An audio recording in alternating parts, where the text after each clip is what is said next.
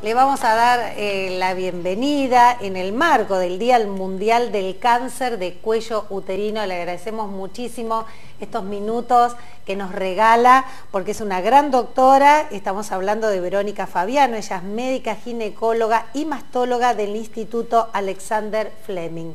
¿Qué tal? Bienvenida, informadísimas. Andrea y Cecilia, te saludamos.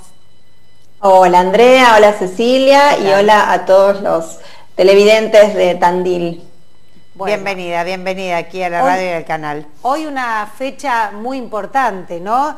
Y está bueno siempre las fechas para recordar un poquito este, y ahondar en el tema de la prevención y los estudios sobre todo. Sí, exactamente, tal como vos decís, lo importante de estos días en particular y muchas veces de todo el mes, porque se van haciendo distintas entrevistas, distintas notas durante todo el mes, es ahondar en la prevención, ¿sí? que no se olviden de las mujeres en este caso en particular, pero en distintos meses hay distintas, distintos tipos de prevención para distintas patologías, no solo cáncer, sino otras cosas también, como por ejemplo hipertensión, diabetes y demás. Así que es re importante esto que hacen ustedes de brindarle información a la comunidad. Bien, doctora, a ver, vayamos a, desgranar un poquito cuáles serían eh, los... Eh, algunos indicadores o síntomas que este, precisamente pueden alertarnos respecto a que las mujeres, bueno, podemos tener eh, algún indicio de cáncer uterino, a qué tenemos que estar atentos.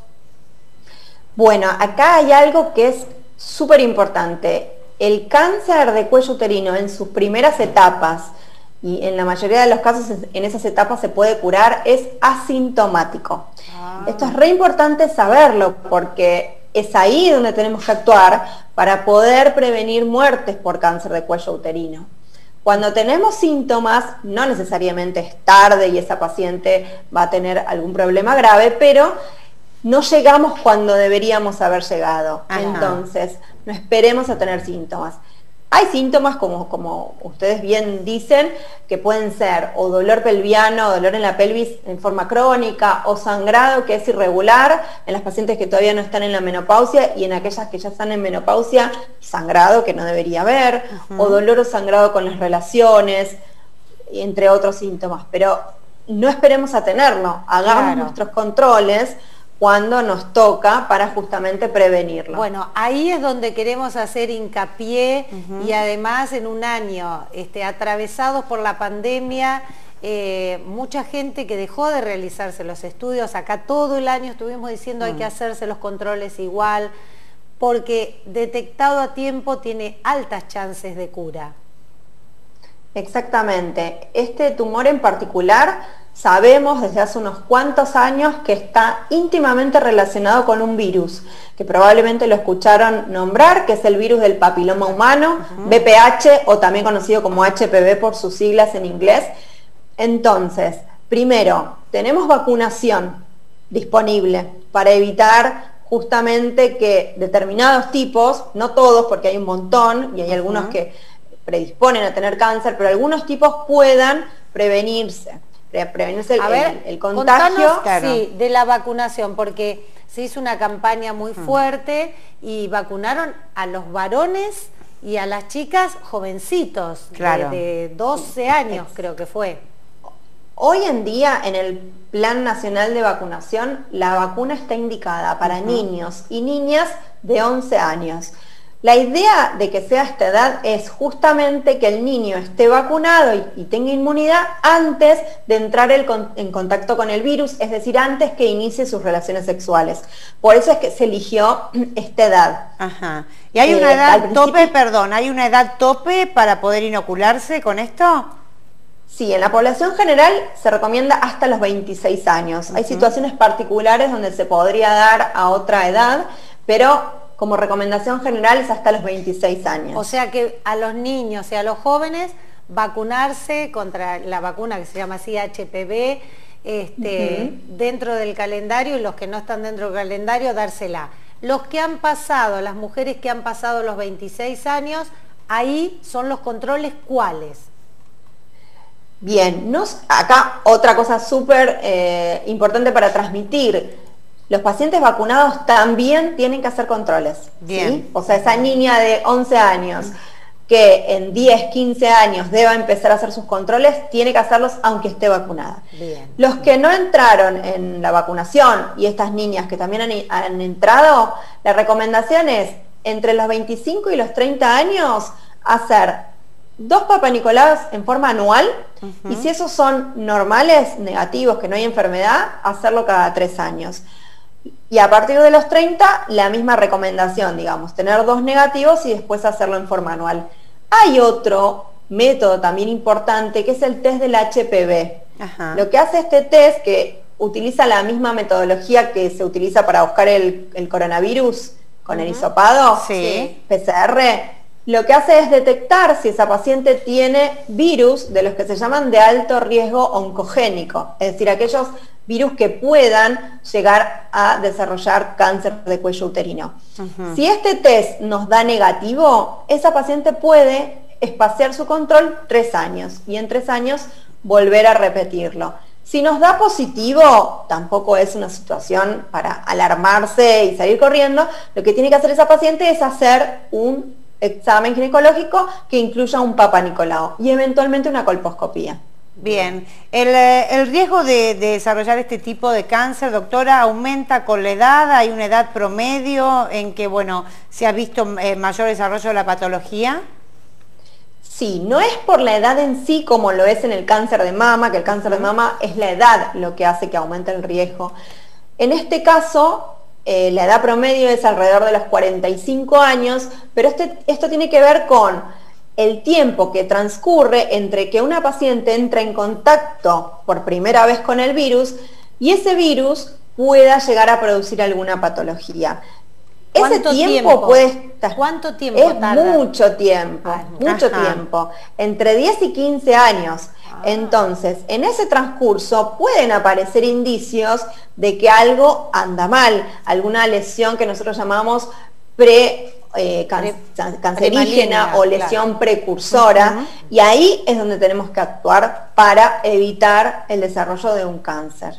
Bien, eh, supongamos que bueno, ya la paciente está, eh, este cáncer, ¿cómo, ¿cómo se trata? ¿Se extirpa el útero? ¿Se hacen rayos según cómo esté avanzada la enfermedad? ¿Cuáles son los tratamientos? Bien, es, depende de muchos factores, principalmente de lo que se llama el estadio, es decir, qué tan avanzado o no está el, tumor. Muchas veces eh, el tratamiento inicial es la cirugía y luego se podría complementar con algún otro tipo de tratamiento como quimioterapia o radioterapia. Hay otros estadios donde son más avanzados y las cirugías serían muy radicales, entonces en esos estadios se prefiere hacer quimioterapia y radioterapia en conjunto, que tienen también muy buenos resultados. Y un caso en particular son aquellas pacientes que no han tenido hijos aún. En esas pacientes y evaluando bien cada caso en particular se puede hacer una cirugía muy conservadora donde solamente se saca el cuello del útero y se conserva el resto.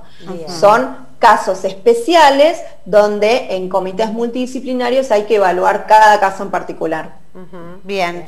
¿Qué tipo de incidencia tiene en nuestro, en nuestro país este tipo de cáncer? Bueno, teniendo en cuenta que este, también estamos atentas las mujeres a lo que es el cáncer de mama, bueno, algo que es bastante propio del género. ¿Qué incidencia tiene, doctora?